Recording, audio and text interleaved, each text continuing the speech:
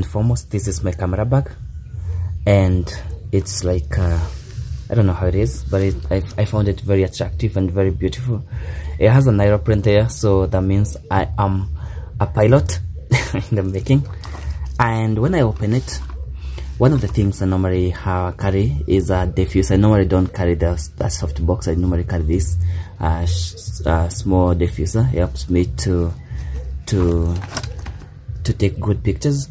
Another thing I normally carry is a charger. This is a charger for the speedlight. I'm going to show you the speedlight very soon. Another thing I normally carry is a, a lens.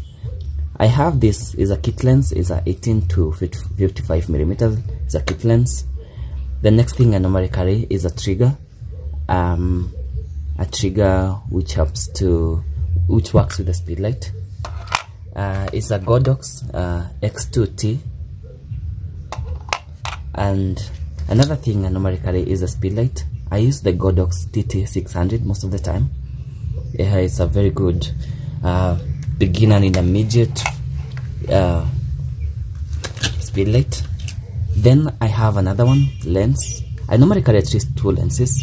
So it's either I carry the kit lens and this lens uh, the kit the kit lens and this lens which is 55 to 250 millimeter lens and the other thing it's obvious. I normally carry the camera with me uh, with me here. Is the Canon camera. It's a 250D it's a very good camera whenever I want to take a 4K videos and stuff and good pictures. Then I have this stand. It's a stand. I normally it a, call it a stand because it's a speedlight stand.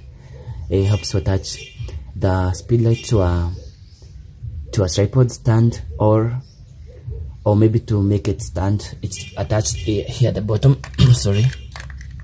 Is where you attach it here and it acts as a stand there.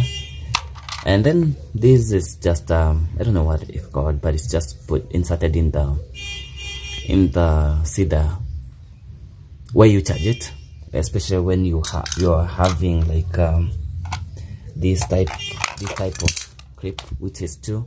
You just come and insert it here sorry I'm having problems so this let me show you. So you insert it here. So that's how it is. So it's a good thing. It, I normally carry it whenever I'm doing because you, I don't know what socket I'll be finding. So that's my kit lens and everything uh, lenses the camera and the equipment that I normally use as a minimalist street and events and other type of photography things I normally carry. So I hope to see you in the next video